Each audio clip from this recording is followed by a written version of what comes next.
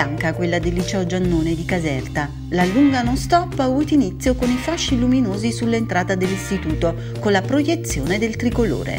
Era un invito alla città ad addentrarsi nei miti e nelle storie del passato, rivissuti con l'entusiasmo delle nuove generazioni. La Notte Nazionale del Liceo Classico 2018, patrocinata dal MIUR, il Ministero dell'Istruzione, è stata dedicata dai giannoniani all'inno omerico a Selene. Nell'aula magna un video introduttivo ha preceduto il dibattito da Dante alle neuroscienze passando per la Reggia, con gli interventi del direttore del Monumento Vanviteliano Mauro Felicori e del responsabile del Dipartimento di Epidemiologia e Prevenzione del Neuromed Giovanni De Gaetano. Direttore Felicori, la cultura classica così ancora tanto attuale?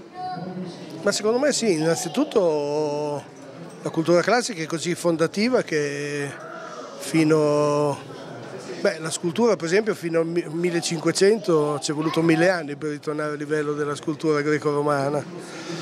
Per la filosofia fino direi al 7-800 ancora si divideva fra neoplatonici e neoaristotelici. Il grande cambiamento è avvenuto con la rivoluzione industriale, la rivoluzione della scienza e della tecnica nei fondamentali siamo ancora nel pieno della classicità e anzi i miracoli dell'intelligenza artificiale e i prodigi di quello che avverrà li potremo affrontare meglio se abbiamo una solida preparazione, dunque piedi ben affondati nella classicità e sguardo invece immaginifico verso il futuro. Senta, che cosa possiamo dire a questi ragazzi? Stanno facendo un percorso quinquennale. Quello che gli ho detto, non stare a badare alle cose più banali che comunque si fanno, le vacanze, il divertimento, tutte cose importantissime, ovviamente, soprattutto a 16 anni, 18 anni.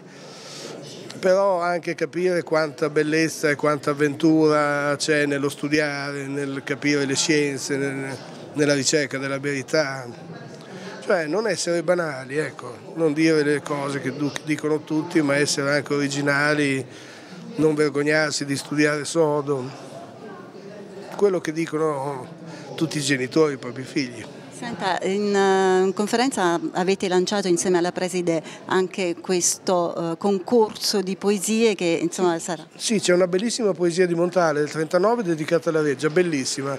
Eh, a partire da quello vorremmo fare un concorso di poesie sempre dedicato alla legge internazionale, non solo italiano ma anche latino e greco e questo lo trovo anche molto divertente, è un'idea della preside. E, ehm, stiamo studiando bene perché vogliamo fare una cosa ad altissimo livello.